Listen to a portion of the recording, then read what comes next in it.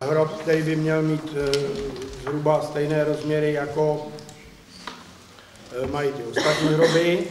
Eh, Já jsem dostal za úkol, abych tuhleto věc panu Niblerovi oznámil a získal, získal tedy názor německé strany. Takže pan Nibler nám zaslal e, nákres náhrobního kamene s tím, že teda hrob a náhrobní kamen. E, ten nákres v podstatě se e, tím popisem uvnitř, pokud by to někdo si tady chtěl přítomných lidí vzít, tak je, je to možný, tady, tady je, může si to vzít, je stejný, tak jak byl původně plánovaný na tom žulovém kříži. To znamená, objev, v tom úvodu je česky i německy napsáno, že ve zmatcích poválečné doby zaplatilo těchto 17 mužů v květnu 45 svými životy. Jsou tady uvedená jména, jak v té lokalitě Budínka, tak potom, že jsou pohřbeni v Polné dva lidé, že přišli o život tři tři lidé na eh, železničním náspu a tři lidé, že jsou pohřbeni někde, někde jinde. Takže my eh, dneska eh, bychom měli řešit tady tenhle ten nápis na tom, na tom náhrobku a v podstatě by mělo vyplynout i to, že bychom měli vybírat potom místo pro umístění tohoto hrobu a měli bychom samozřejmě ve spolupráci s tou německou stranou se na tom umístění dohodnout. Nebude to samozřejmě věc eh, jednoduchá, eh, protože určité emoce eh, jsou tady neustále rozlicovány a nepomáhá to teda k vyřešení, nebo nepomohlo to doteď k vyřešení této věci. Rada se tím zabývala a já to přečtu doslova. Rada obce projednala sdělení německé strany k národnímu kameni německým občanům, kteří zahynuli na katastru obce po ukončení druhé světové války.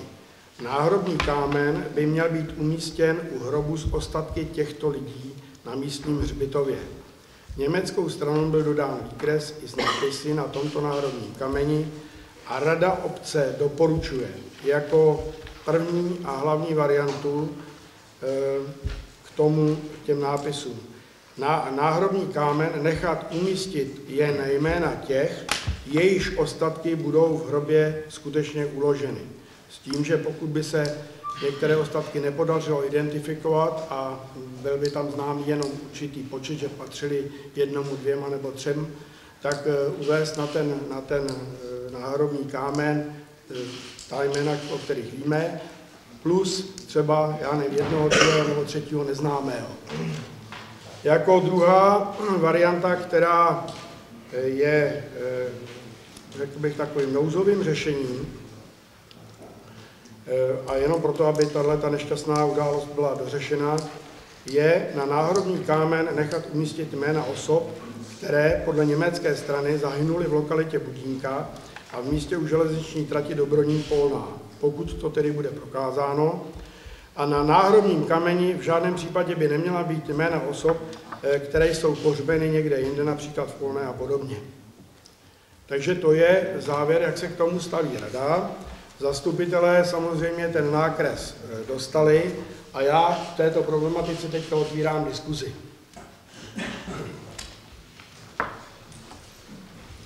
Jenom ještě než se někdo rozmyslí, doplním to, že posledně jsme tady říkali, že v podstatě dřevěný kříž je určitou pětou, že byl postaven, že v podstatě nám téměř do toho nic není, s tím, že pokud by někdo chtěl umístit památník nebo pomník na tom soukromém pozemku, že by to musel řešit s majitelem pozemku a s příslušným stavebním úřadem. Na tom jsme 14. února skončili. Toto je vlastně pokročení k tomu pohřbení těch ostatků a my se dneska musíme tady vyřešit, co na tom náhrobním kameni bude. Takže znovu máte slovo, zastupitelé, povídejte. Pan Červinka. Tam ty další jména nevadí, takže si myslím, že není důvod, aby tam nebyly uvedeny všichni ty, všichni ty názvy, tak jak se to ta německá strana, strana přeje, když tam zrovna třeba v tu chvíli nejsou pochovány. To je můj názor.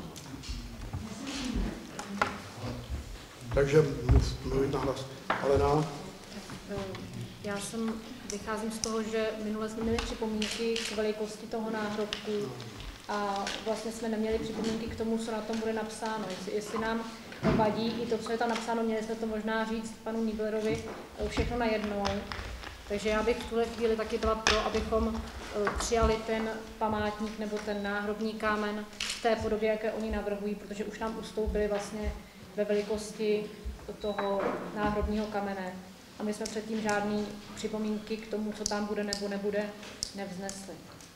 No my jsme, my jsme v podstatě eh, posledně řešili, jestli památník nebo pomník, a nebo teda umístění na tom hřbitově, my jsme se už nezabývali dalším tím textem, jo, takže možná, že, ale máš pravdu, asi mm, mohlo se to urychlit. Tak, další. A pan Krásný. Já si myslím to tež, co tady paní magistra Horská, že nevidím žádný důvod, proč bychom měli teda nějak omezovat. Že není žádný důvod, proč bychom měli omezovat eh, to přání té německé strany. Tak, jak oni si přejí, ať si to tam dají. To je můj názor. Tak, další. Pan Pípa. Já bych byl proto, aby tam byly jenom ostatky umístěny, ty, které budou identifikovaný. A pokud ještě nemáme zprávu o tom, že eh, vlastně, jestli ty pozůstalí si přejí vůbec tady mít pochovaný lidi. Já to doplním eh, o tom, a to jsem říkal posledně na tom zasedání, že původní záměr a sdělení z německé strany bylo, že si ty ostatky odvezou do Německa. Eh, Začátkem roku jsme dostali dopis, že eh, pozůstalí si přejí, aby jejich předkové, nebo lépe řečeno ty pozůstatky po těch předcích, byly pohřbeny v jejich vlasti, to znamená v Česku, to znamená v Dobroníně. Tak. Další. Pan Cink. Já, já si myslím, že tam byly pohřbení taky ty, co byly tady vlastně na té lokalitě Budince. Ale myslím, ale myslím si, že by se to mělo vyjádřit i, i jako občané, že?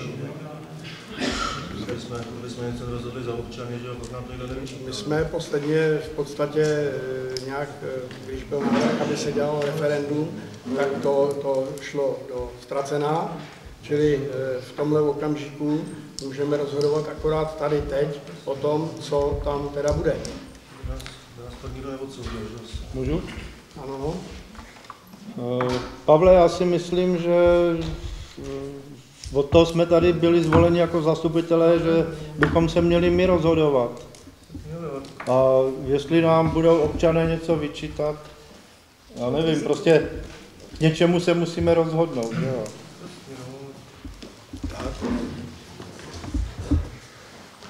Děkuju. další. Takže já znovu ještě přečtu eh, v podstatě to, co teda doporučila rada. Ta varianta jedna na náhrobní kámen nechat, nechat umístit jen jména těch, jejichž ostatky budou v hrobě skutečně vloženy. My jsme vůbec tady nepadlo nic eh, teď kolem té druhé varianty, a to je, že na náhrobní kámen nechat umístit jména obce, eh, osob, které podle německé strany zahynuly v lokalitě Budínka a v místě železniční trati, tedy ne eh, variantu, kde by tam byla všechna jména, která v tom návrhu jsou. Takže to je vlastně třetí návrh. Nechat tam umístit všechna ta jména podle toho grafického návrhu. Tak, má někdo zastupitelů ještě? Já se teda zeptám, jestli někdo z občanů k tomu chce vystoupit. Já si myslím, že teda opravdu by tady teda měly být pochovaní jenom ty lidi, kterým se to stalo, tady ty výjimky a který pocházeli tady z toho Dobronína. Oni z Dobronína nepocházeli vůbec, oni pocházeli z kamene. Zatím to, co víme. Ale stalo se to, prosím vás, na katastru obce. Čili my musíme, ať chceme nebo nechceme, respektovat zákon. Ta jména se velice rozcházejí. U některých je, že spáchali sebevraždu, například starosta Kamene a jeho syn v polanském, vězení a tak dále. Takže si myslím, že skutečně ta jména nejsou až tak důležitá a ten seznam, když se to porovná s knížkou Kamena, kterou napsala Herma Kenel, Václav Hasbauer, že ta jména se tak rozcházejí, že si myslím, že nejsou úplně stoprocentně směrodatná. Zajímalo by mě, jestli byla ukončena identifikace těch osob, které tady našly vidníky. Ta identifikace osob ukončená nebyla. Zákon o obcích, o spolupráci. Eh, Zásadně žádné eh, výsledky na obec, vedení obce neposílá, že já v podstatě vycházím i z toho, co bylo publikováno v médiích. Proto také jsem doteďka nesplnil slib, že do zpravodaje napíšu, eh, jak tedy eh, to bylo a, a konkrétně. To můžu udělat až v tomto okamžiku. Pokud mám kuse informace, tak ty ostatky byly eh, proskoumávány v antropologickém ústavu v Brně, byly předány do kriminalistického ústavu v Praze. Jak to tam pokračuje, nevím. Bylo, bylo tedy řečeno i to, že se bude porovnávat DNA těch pozůstatků s eh, těmi, eh, kteří by měli být různými v tom Německu. Takže eh, v podstatě teď, když teda tady schválíme ten nárob, tu národní desku, tak my ani nebudeme opravdu vědět, kdo skutečně a jestli teda ten člověk opravdu eh, tam byl a ty pozůstatky byly nalezeny. Takže bohužel eh, tady nemáme ty údaje ucelené. Od 12, 15, 17, 18, nakonec jich tam bylo nalezeno 6, ty další ostatky nalezeny ještě nebyly. Podle mého by se mělo skutečně počkat až na uzavření toho případu policií a tak dále. A podle mého, protože ta jména, jak říkám, se rozcházejí, někteří z nich, která jsou uvedena v tom seznamu, spáchali sebevraždu, někteří jsou v polné, někteří jsou jinde, že by, ten, že by ta vzpomínková deska mohla být na památku prostě lidí, kteří tady zahynuli, bez jmen. Protože pokud nemáme ani z toho antropologického žádné jméno, tak jak je tam můžeme napsat? A říkám, v těch novinách se to tak rozchází, s knížkou se to rozchází, ze vším všady, že mně to všechno připadá jako spekulace. Že to není potvrzeno nikým. Tak jak je tam můžeme napsat? Já jsem vždycky tvrdil, že eh, ať to byl ten nebo ten, každý člověk má mít teda nějakým způsobem důstojný hrob. Eh, Proto, proto teda prosazuju eh, za sebe to, aby tam byl eh, ten hrob, aby tam byl náhrobní kámen, aby na tom náhrobním kameni byla jména skutečně těch, co tam eh, ty pozůstatky eh, budou mít. S tím, že dneska my řešíme, a ono to totiž ještě zabere i čas, vybrání toho místa na tom hřbitově, přípravu toho náhrobního kamene a nic nám nebrání v tom, abychom tady projednali, co a jak. A teprve až to bude identifikovaný, tak se ten náhrobní kámen vlastně u těch kamenosouchařů nebo kameníků eh, prostě dořeší. Oni chtějí, aby to dělal kameník někde tady. A teprve potom by se ten náhrobní kámen usadil, protože v té době bychom my měli eh, i ty ostatky dostat a ty ostatky by měly teda pohřbeny v tom hrobě.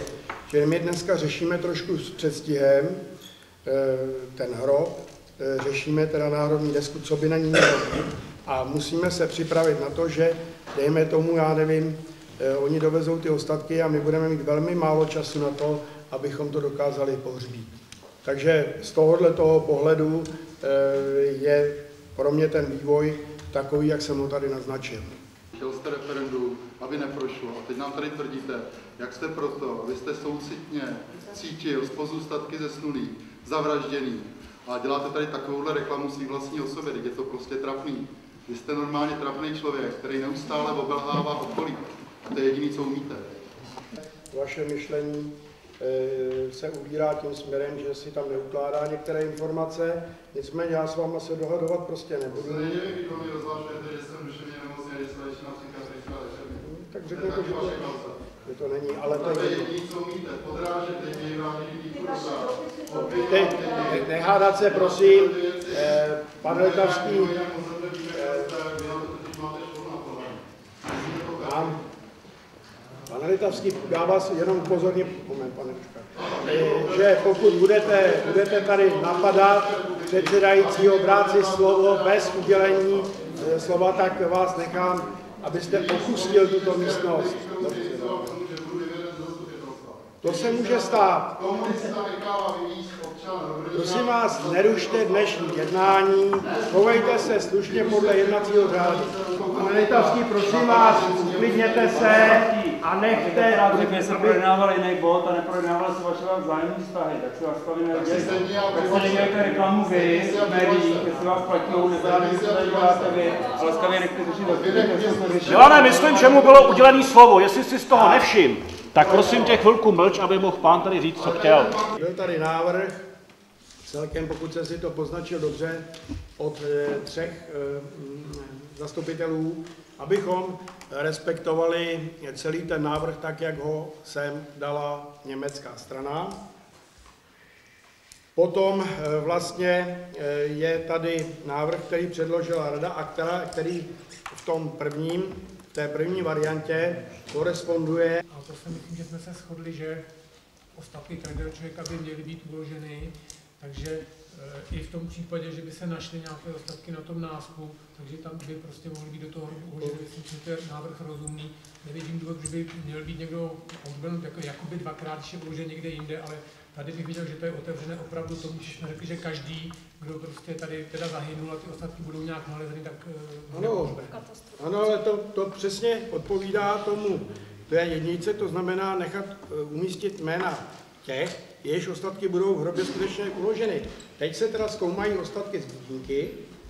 Teď se e, německá strana předložila mapku se zákresem, kde by měly být další, někdo říká dva, někdo tři. E, čili e, ten náhrobní kámen v podstatě pokud by se dodatečně ještě objevily nějaké ty pozůstatky, tak přece ta jména se tam dají dodělat. Eh, Teď eh, rodiny mají své, eh, své náhrobní kameny a postupně, tak jak v té rodině eh, ti členové rodiny umírají, tak se tam eh, objevují. Čili to není nic, nic proti ničemu. A pokud by se eh, policie prostě nedopátrala, byly by tam třeba ostatky, které by nesouhlasily s DNA někoho z těch pozůstalých, tak by se tam objevilo, prosím teďka plásnu, plus nebo dva další, nebo ostatky dvou dalších eh, neznámých osob. Jo? Takže eh, jsou v podstatě to vykrystalizovalo do těch dvou, znovu zopakuju, na návrhů. Je tady návrh na to, abychom to ponechali v původním tom, jak to předložila německá eh, strana, to znamená všechna ta jména, jich asi 17, včetně těch, co jsou pohřbeni v Polné nebo někde jinde. A je druhý návrh, a to je ten, na tom náhrobním kameni, aby byla jména těch, kteří, u kterých by byly ty e, ostatky identifikovány a pokud by nebyly, tak se tam objeví, že jde o další, já nevím, x, x lidí. Jo? Po- Pochopili jsme to všichni. Takže já dávám hlasovat teďka o té první variantě, abychom eh, to ponechali tak, jak to navrhla německá strana. Kdo je pro? Jeden, dva, tři, čtyři. Kdo je proti? Jeden, dva, tři, čtyři, pět, šest, sedm, osm, devět, no, devět.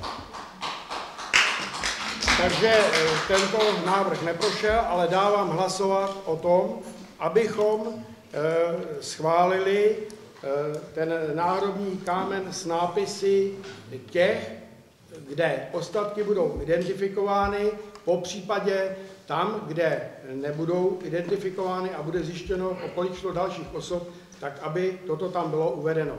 Kdo je pro?